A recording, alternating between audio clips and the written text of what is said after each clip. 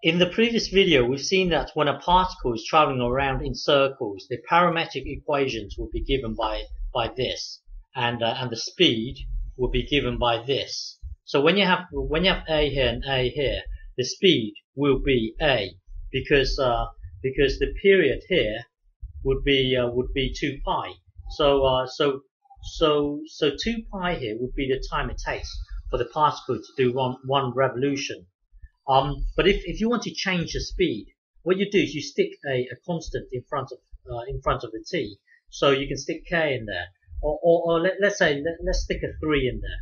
So you, you you would stick a three in in front of the t here as well. So if you look at this here, normally the period would be two pi. Normally it would be two pi. Normally the time it takes to do one revolution would be would be two pi. But if you stick a three in front of here, then the period would be would be much faster. One, two, three revolutions. So uh, so if you stick a three in uh, in front of the t, then uh, then the time to do one revolution would be would be much faster than than uh, than the without the constant. So if, if you want to change the speed, stick a, a constant in front of here and here. Okay, so so if, if you want to change the speed, then uh, then adjust the, adjust your parametric equations to uh, to be uh, to be something like this. Okay, so so uh, applying the uh, applying the speed here. If, if, if, you want to if you want to find the speed, then uh, then then then use this formula. So so differentiate this to obtain your dx by t, dt, and then differentiate this to obtain your dy by dt. So so if, if you want to if you want to change the speed of the particle, then my, then then adjust your parametric equations to uh, to something looking like this. So if you do that, then uh, then then dx by dt will be given by this, and dy by dt will be given by this. So now we can put this into here, and then we can put this into here.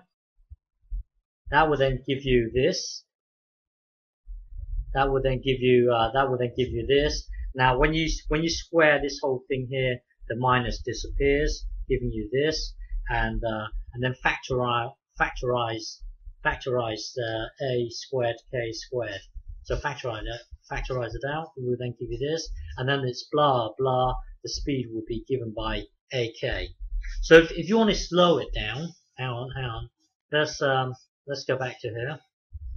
So, uh, so if you want to speed it up, then you, you would put a, a positive number in here. Let's say three, because because uh, normally one period would be two pi. If you if you stick a constant in front of here, it would be uh, it would be much faster. The the time to do one revolution would be would be much faster. But if you want to slow it down, then put a number in here that's less than um, less than less than one. So maybe maybe put a third in there. Then uh, then normally one period would be 2 pi, but if you put, let's say, a third in there, it would be a lot longer. You know? It would be a lot longer. So, so one period would be would be something like this. It, it, it, would be slower. So if you want to slow it down, then then put a number that's less than less than one. Okay.